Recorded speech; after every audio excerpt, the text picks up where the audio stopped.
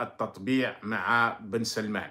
التطبيع ربما قد نسمع على إعلانه في الأيام القادمة. قد يتم الإعلان على أن بن سلمان قد أقام علاقات دبلوماسية رسمية مع الكيان الصهيوني.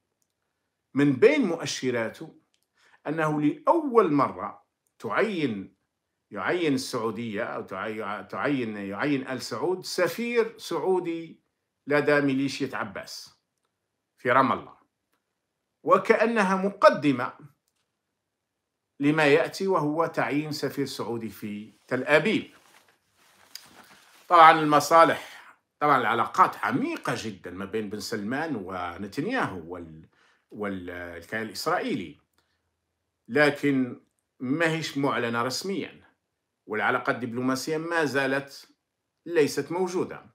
فبايدن يجري بكل الطرق والانتخابات العام القادم حتى يتقرب من اللوبي الصهيوني وهي أيضا مصلحة أمريكية أن يكونوا أكثر بلدين يقدمون له خدمات آه، في آه، في المنطقة منطقة الشرق الأوسط كما تسمى وهي النظام السعودي والكيان الإسرائيلي أن يكونوا متحابين ومتسالمين ما كاش مشكل.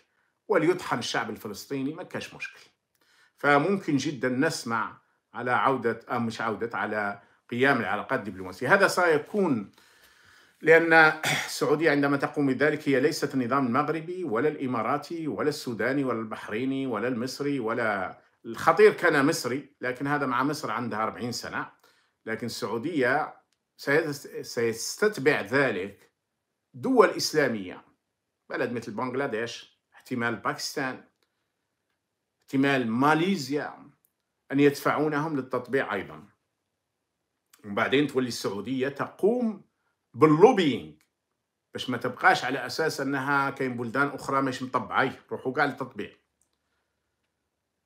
التطبيع الرسمي لأن كما قلنا التطبيع غير رسمي آه، موجود.